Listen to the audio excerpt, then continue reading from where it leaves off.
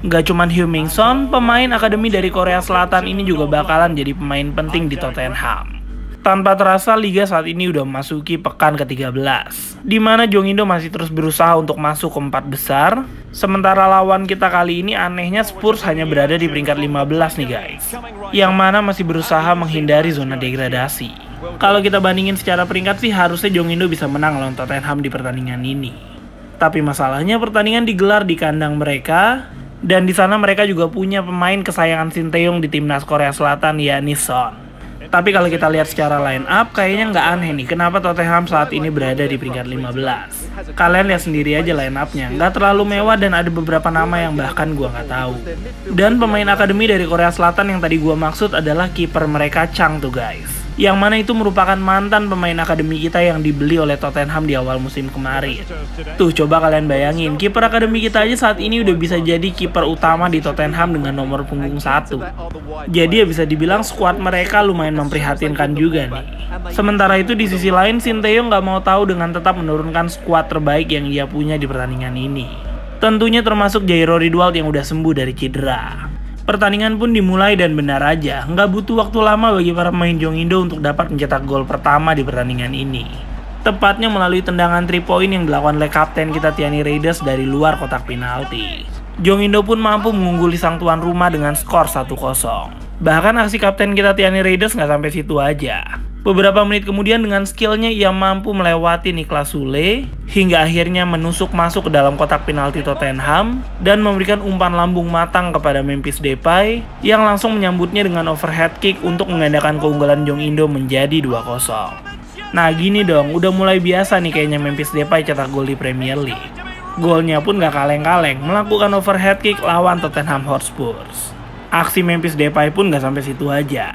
Di babak pertama ia benar-benar berduel dengan Niklas Sule. Bahkan setelah tadi Niklas Sule di Rainbow Flick oleh Tiani Raiders, sekarang hampir aja dikerjain lagi sama Memphis Depay. Untungnya Niklas Sule belajar dari kesalahan pertamanya di mana kali ini ia berhasil menghentikan Depay. Babak pertama pun pada akhirnya berakhir dengan skor 2-0 bagi keunggulan Jong Indo. Tapi skor tersebut nggak berlangsung lama, karena di babak kedua tepatnya di menit 60, Kapten kita Tiani Raiders kembali mampu mencetak gol keduanya di pertandingan ini untuk memperlebar keunggulan Jong Indo menjadi 3-0 atas sang tuan rumah. Conte yang panik pun langsung melakukan pergantian pemain, di mana ia menarik Christian Loratonda dan digantikan dengan Yuri Tillmans. Sementara Sinteyong memasukkan Luis Bryan, Pascal Strick, dan juga Jester Terheide. Selain itu, Son yang gak banyak berkutik di pertandingan ini juga ditarik keluar dan digantikan dengan Leroy Sané.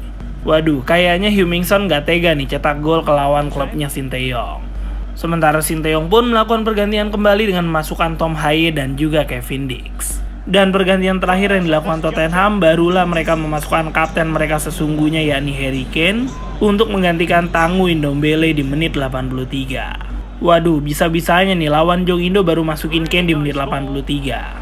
Padahal seperti yang bisa kalian lihat, Ken cuma butuh waktu 4 menit aja, di mana di menit 87 ia berhasil memecah kebuntuan bagi Tottenham untuk mencetak gol pertamanya di pertandingan ini serta memperkecil ketertinggalan Tottenham menjadi 3-1.